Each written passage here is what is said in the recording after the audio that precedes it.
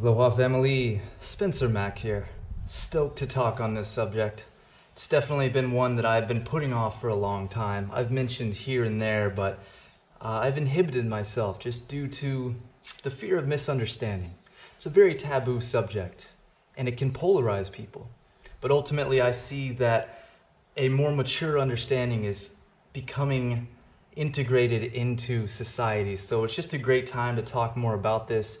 And my entire intention behind sharing this is to enhance the safety so that people can be safe because these things are powerful. Like there's a reason that people are so afraid of them that we made them illegal for so long.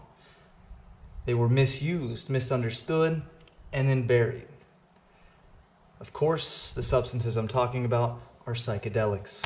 There's a wide range of psychedelics. I'm not going to go into the specifics of the different kinds and how they interact differently on your chemical makeup in your brain.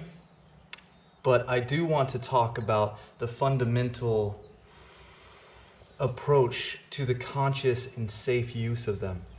So, to start off with a disclaimer I am not a doctor. I am in no way trying to recommend or influence people to do these things. I only hope that I can share information that should an individual find themselves using these substances, they can have the safest and most beneficial experience possible.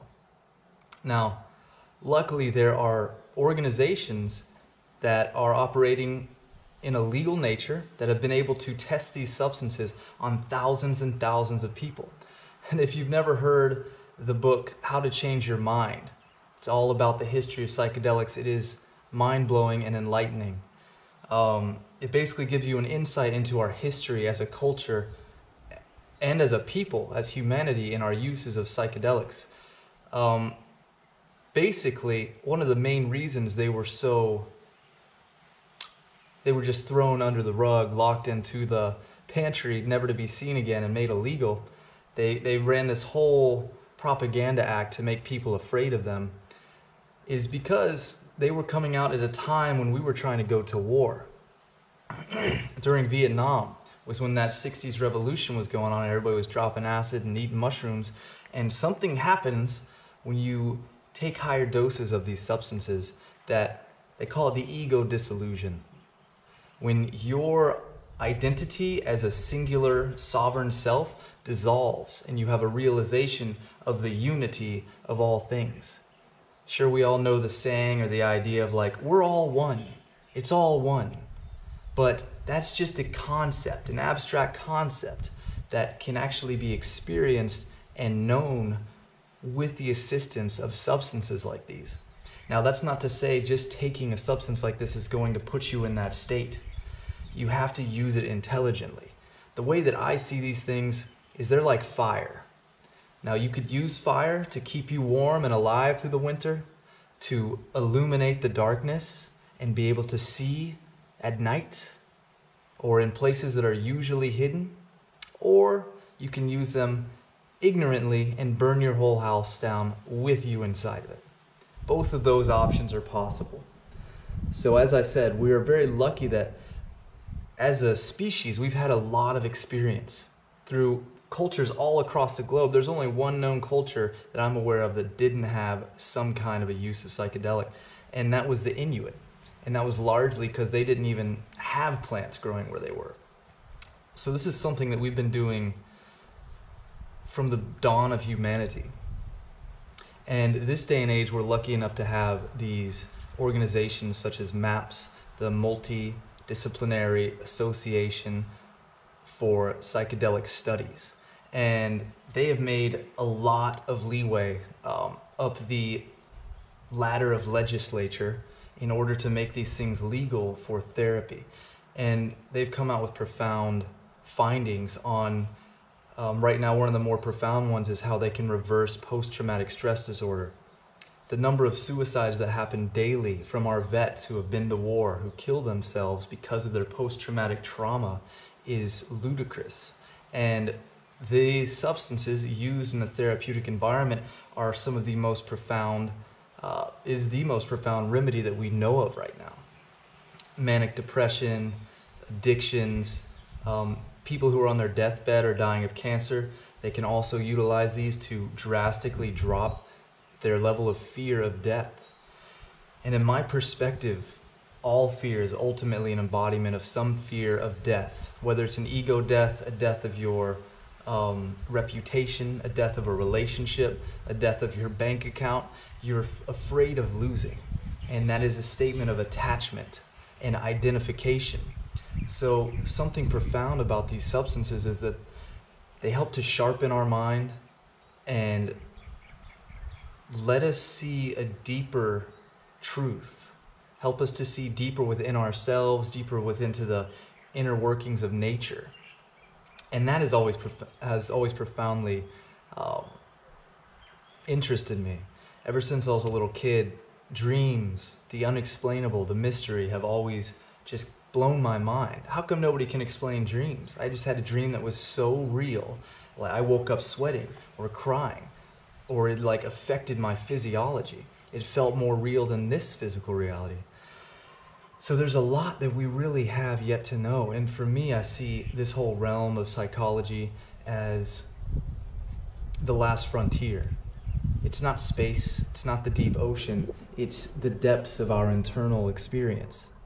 And these are the tools and they're creating the methods that help us to dive deeper into these truths.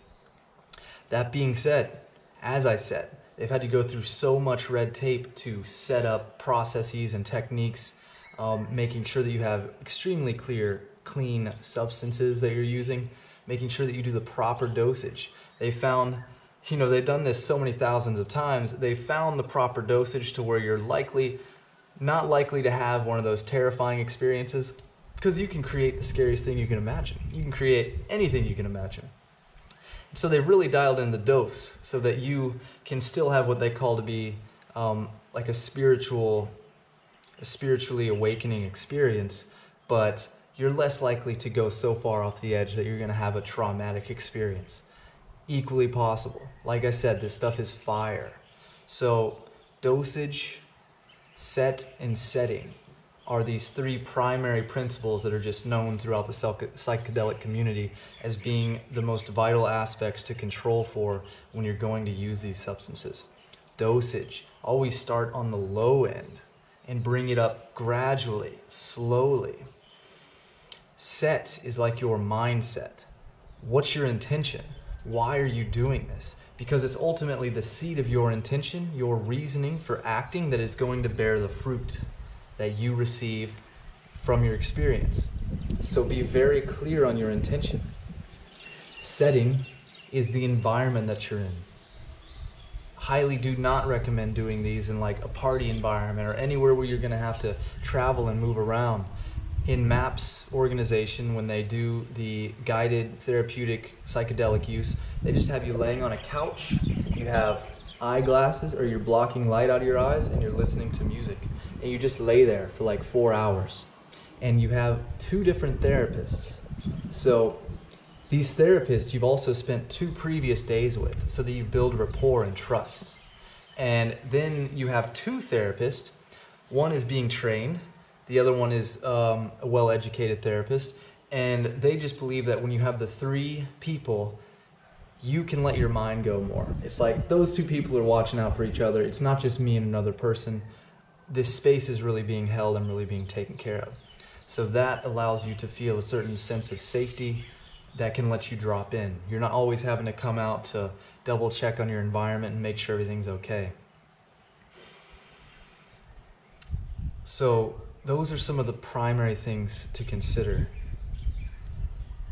Within that, there's a whole slew of different approaches and philosophies on how people use these. Ultimately, through my own practice and cultivation of it, I slowly shaped my own protocol. There are certain techniques, certain practices that help me get closer to the center, closer to the source that make it more likely for me to have an integrative experience. One of the most obvious ones and also most widely used is the breath. Just becoming aware of your breath and allowing your breath to be fluid. not trying to control it, because the breath will reflect your state of mind. If you want a calm and open state of mind, your breath needs to be fluid. Anytime that you're tense or you're scared, you're going to have stopped your breath. You'll be holding your breath. So the breath is a great point of focus just to bring your attention to, and you can directly affect your state of mind by changing the way that you're breathing. Now, another concept that's profoundly useful is the idea of allowing, letting it happen. Now, when you take an ample dose of psychedelics, it's like jumping in the ocean. When you get slammed by a wave in the ocean, you can't try to resist. You can't try to stop it. You're like just a little fish in there getting thrown around. And the more you relax, the more likely you are to not get injured. And the less energy you're going to waste, the calmer your nervous system's going to be, and just the easier it is to deal with a chaotic situation. That, that in my experience is how I've experienced psychedelics is it's like jumping in the ocean and the dosage is like the size of the waves that are coming in. So for me, I'm not really that comfortable getting in waves over eight feet. So once I'm at eight feet, it's like right on the edge of like, this is scary. Like if this slams me, I'm gonna be okay, but it's gonna scare me. And that right there for me is like a good edge of challenge. So I try to find that edge when I explore these substances. And you know, unfortunately, it's a it's a trial and error kind of thing. And just because of my personality, I've definitely erred on the far end multiple times an average dose for mushrooms, they say, is around two to three grams. Um, there are times when I drank 30 or 35. Any time that I've gone above 20 grams has been a time where I have lost self awareness, where I've woken up a couple hours later not knowing what was happening. Disassociation completely. And to me, if you get in water that high above your head, you don't learn anything from it. There's no value there anymore. So the idea of like taking more is better is simply not the case.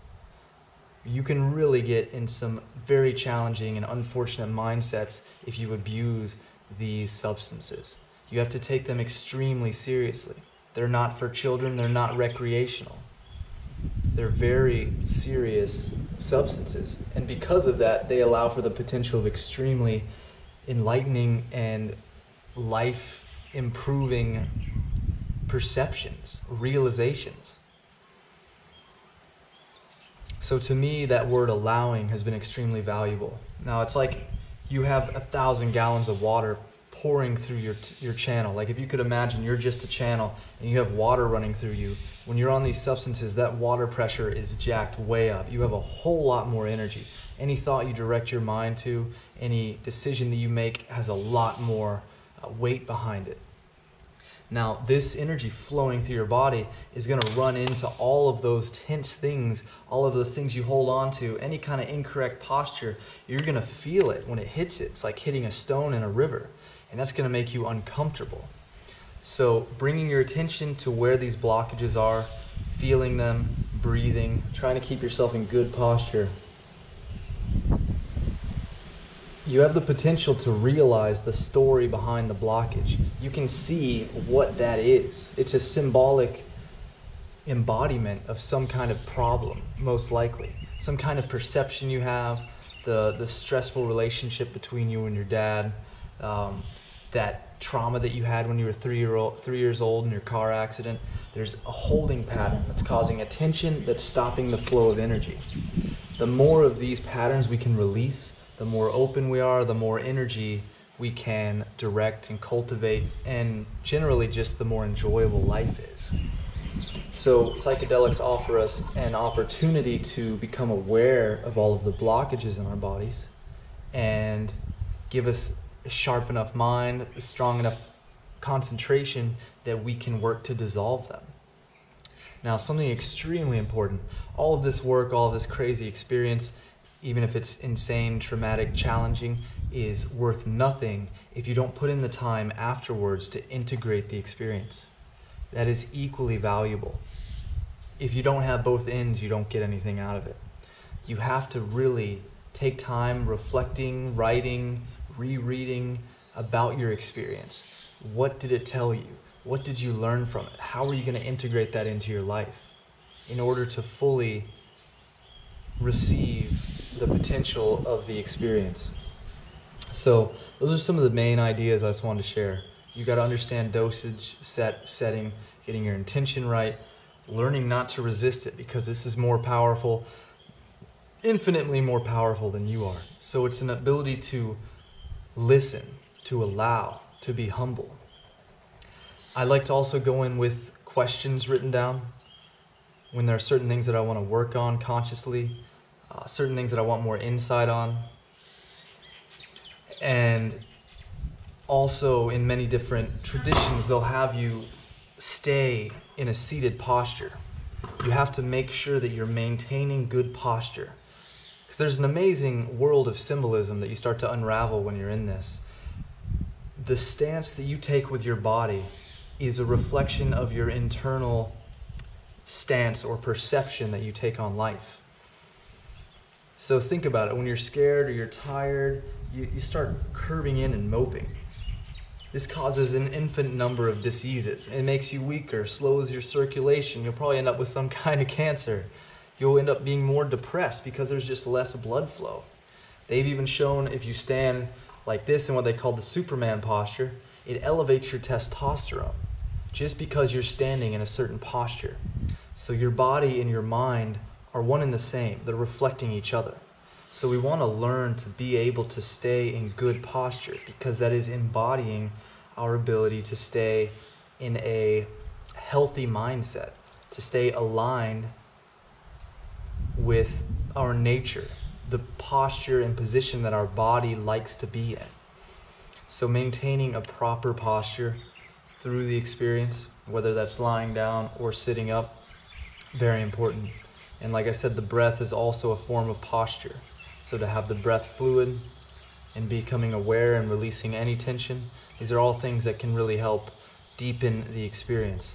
Now, in MAPS, as I said, they have the eye shades so that you're cutting out all light. So many people out there like to take these substances and go to clubs or go do stuff or go to the beach. But you get the most value out of it whenever you go inside, internally. The more that we can just drop in and let go any energy that's going out of us and direct it all back into our internal experience, the more we're going to get out of it. Because ultimately, this is the thing that's navigating and orchestrating the experience. So when we can get quiet and still enough, we can sink in deeper, finding really where is the center, where is the origin of my consciousness of this individual that's experiencing the feelings of my body and my emotions. Where is that point of origin? Can I get in touch with that? How close can I get to it? And the more time we spend interacting with that, we spend at that place, the more truthfully we can live. We can live from that center point within us. We become familiar with it and we learn to integrate this proper posture, this centered state into our daily lives. And on this path of unfolding and resolving all of these crazy tensions and fears and uh, discomfort that comes up, because this shit is uncomfortable. If you really go into it, it's not like a ton of party and fun. It can be, but so often there's so many challenges because there's so much we have to work on because we're just behind psychologically. We don't have these kind of psychological medicines in our culture. You know, they're basically in every other culture throughout humanity, but only in these modern day cultures have we made them illegal. So it's almost like a nutrient for the mind that we're deficient in, is how I see it.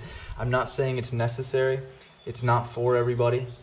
Meditation, yoga can get you to the same place. For some reason, it's been a part of my life, so I know it's part of my path. It's something I'm interested in cultivating and developing with. But something I definitely noticed is when I was younger, I had a lot more challenging experiences, particularly in my gut, in my body, in my the pain I would feel, the discomfort I would feel, and I believe that you know your body state reflects the state of your mind. So if you have all these discomforts and pains and anxieties that come up, vice versa, your body is in a challenged state. When you really get your body into a state of health, there's a lot less friction for all this energy that's running through it, and you end up with a far more enjoyable experience. And that just goes straight for life, too. The more that we can clean house, get out any unnecessary tension, any kind of toxins, and get in better posture so we're not kinking ourselves with our spine, the better we're going to feel, the more power we're going to have, the more power we're going to be able to contain and direct and circulate, and just the more we'll enjoy life.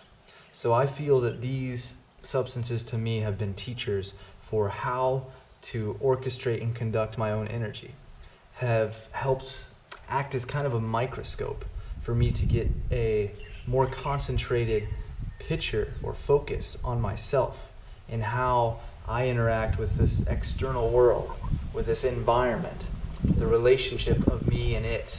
Who am I exactly? What are all these experiences? It's, it's like a microscope for me that helps me look deeper into certain elements of life. And when used intentionally, consciously, and then you take the information you learn and integrate it into your life, can be very beneficial. That's my perspective, all in all. There's a lot of things you really want to be careful and conscious about, though, like who you're with, the environment that you're in. If you have any kind of pre-standing uh, psychological disorders, do not attempt without a therapist. Never attempt it without a therapist, is what I'm going to say, just because, got to be safe. Um, but really, if you do have psychological disorders, there's a very real reality. It could help you, but it could also damage you. So you have to weigh your odds, and ultimately, you have to take responsibility for yourself. You have to put yourself in an environment where you're only going to try very small amounts, gradually bringing it until you can feel it. Um, and when we navigate this way, it's much safer. We're not going to end up in one of those completely insane, uh, chaotic experiences, which is very, very possible. Awesome, guys. So this is kind of my first dive into sharing on this. I would like to see how much interest there is in this realm. I may talk about it more, I may not, just based on the feedback. Um, forcing myself to make a video every day, so this is just what's been up on topic. I just wrote a post on Facebook and had a good conversation, so while it was fresh, I just wanted to jump on here and share. So if this was helpful in any way, if you thought it was uh, not helpful and dangerous in some ways, share all perspectives, please. Let's get the conversation going. That's what I'm interested in myself is truth. So if you hear me expressing a belief or some kind of idea in a matter of fact, certain kind of way, and you think it's wrong, help me out. I can't see my own face, you know what I'm saying? If I got something on my face, please tell me. That's what friends do. Even if it's gonna be painful, even if you're gonna hurt me, I want you to be honest and real with me. And I'll always do the same for you, whether you like it or not. but really, those are the best friends, right? So let's cultivate that together, guys. Let's share our truths and we'll refine them as we go, getting closer and closer to the source and a more and more enjoyable and divine life. Awesome, guys. Until next time, peace.